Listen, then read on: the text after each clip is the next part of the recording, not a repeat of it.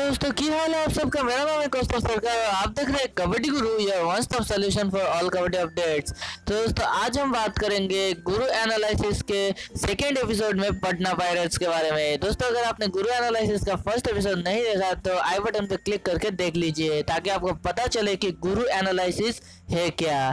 तो चलिए, खेलते हैं कबड्डी।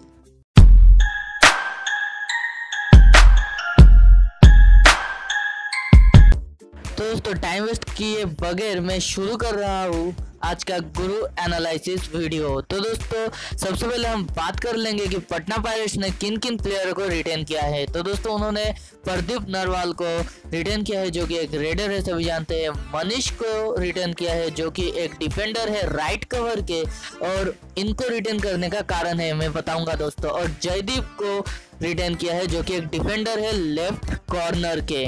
और एक प्लेयर को इन्होंने रिटेन किया है, जो कि है जवाहर टागर जो कि एक ऑलराउंडर प्लेयर है दोस्तों। तो दोस्तों, ये तो बात थी कि इन्होंने किन किन प्लेयरों को रिटेन किया है। अब मैं आप सभी को बताऊँगा कि ये किन किन प्लेयरों के पीछे हाथ धो के पड़ेंगे ऑप्शंस में। दोस्तों, सबसे पहले आता है सचिन शिंगाड़े, जो कि एक लेफ़्ट कवर के प्लेयर है। उन्होंने दोस्तों मनीष, यानी कि जो डिफेंडर राइट कवर के हैं, उनको रिटेन किया है।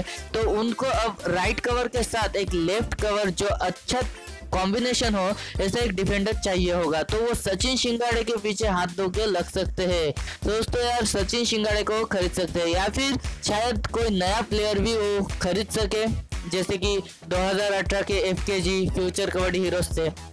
या फिर सचिन शिंगाड़े के साथ उतना श्योरिटी नहीं है कि उनको खरीदेंगे ही। ऐसा कुछ नहीं है। फिर भी मैं बता रहा हूँ कि सचिन शिंगाड़े को खरीदने की बहुत ज़्यादा कोशिश पटना पायरेट्स करेगा। फिर उसके बाद बात कर लेंगे मोनू गोएट की। तो दोस्तों यार, मोनू गोएट को तो खरीदेंगे ही। चाहे कुछ भी हो जाए, अगर खरीद भी नहीं पाए तो यार आरटीएम का तो यूज़ इसके लिए ज़रूर करेंगे। ज़रूर है, ज़रूर। एक ही आरटीएम यूज़ यूज़ कर सकते हैं पटना वायरेट्स क्योंकि उन्होंने चार प्लेयरों को रिटेन किया है, इसलिए वो अब एक ही आरटीएम यूज़ कर पाएँगे। तो यार दोस्तों, अगर आपको ये कंफ्यूजन कंफ्यूजिंग लग रहा है कि एक आरटीएम कोई दो आरटीएम तो दोस्तों यार मेरी एक कंपोजिशन गाइडलाइन वाली वीडियो है, जो कि आई बटन पर क्लिक करके आप देख सकते हो, या फिर डिस्क्रिप्शन बॉक्स में कंपोजिशन गाइडलाइन बोल के हेडिंग है वहाँ पे एक लिंक है, वो वीडियो देख लो।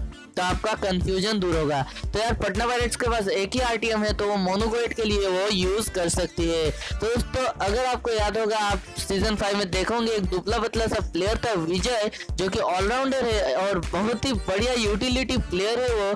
बढ़िया बढ़िया टाइम पे पॉइंट लाता था। इससे पटना को बहुत ज़्यादा हेल्प हुई। तो दोस्तों यार, पटना ज़रूर चाहेगा कि विजय को फिर से अपने टीम में लाए। तो दोस्तों यार, ये थी गुरु एनालिसिस पटना पायरेट्स के लिए। तो यार ऑप्शन कब है, ये जानने के लिए यार। वीडियो देखो हाई बटन पे क्लिक करके यार डिस्क्रिप्शन बॉक्स में लिंक मिल जाएगी। तो यार देखो ज़रूर वीडियोस हर एक टॉपिक पे वीडियो बना रखी है। तो ज़रूर देखना। दोस्तों यार, आज का गुरु एनालिसिस पटना पायरेट्स को लेकर अगर आपको पसंद आया हो तो लाइक कीजिए यार कमेंट कीजिए शेयर कीजिए अपने दोस्तों के साथ। और बाकी अगर आप नए हो तो यार चैनल को सब्सक्राइब कीजिए। अगर मन नहीं हो रहा तो और वीडियोस देख लीजिए। चैनल के फिर अच्छा लगा तो ज़रूर सब्सक्राइब कीजिए यार।